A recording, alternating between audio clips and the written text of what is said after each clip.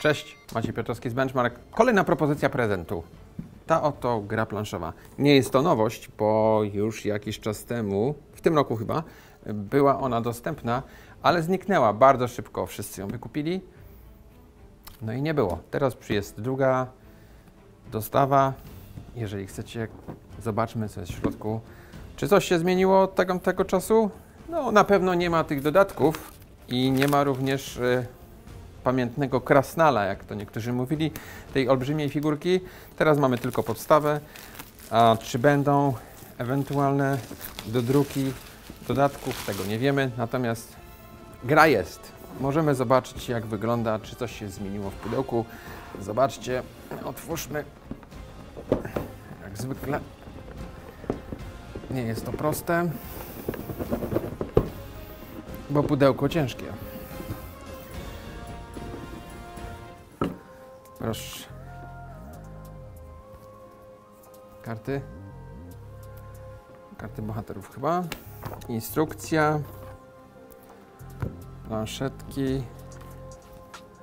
Kolejne kartoniki. I tu możecie zobaczyć, jak fajnie jest to ułożone w pudełku. Mamy przedwiecznych. Mamy. A, a, a, a, a. Kolejne. I te ustawione. Oj. Musimy zobaczyć, co pod spodem. O! Proszę. Cztery figurki. I tu mamy scenariusze.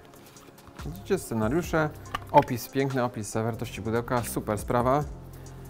A z tytułem fajnie zrobione, bo dzięki temu wiadomo co startujemy, nie musimy otwierać.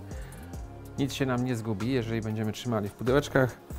Tu mamy, tu mamy powiedzmy kulfu, weźmiemy go, wyciągniemy, karty i zobaczmy co tu jest w środku. O, proszę.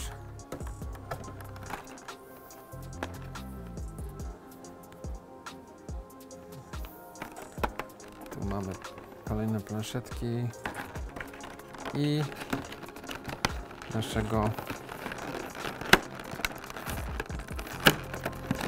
a, a, a jest, proszę. Zobaczcie jak, o. Nazwę brzydko, jaki Louis, zobaczcie jaki Louis. I ten też.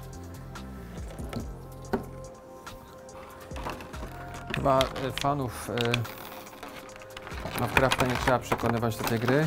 Natomiast jeżeli zastanawialiście się wcześniej, ja się zastanawiałem, a czy nie kupić sobie, no i niestety dałem ciała, że nie kupiłem ostatnio.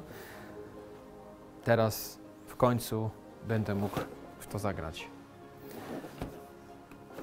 Znakomita propozycja na prezent.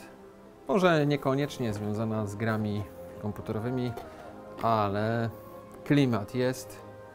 Ocena też dość wysoka na serwisach internetowych zajmujących się planszówkami. Nic tylko polecić.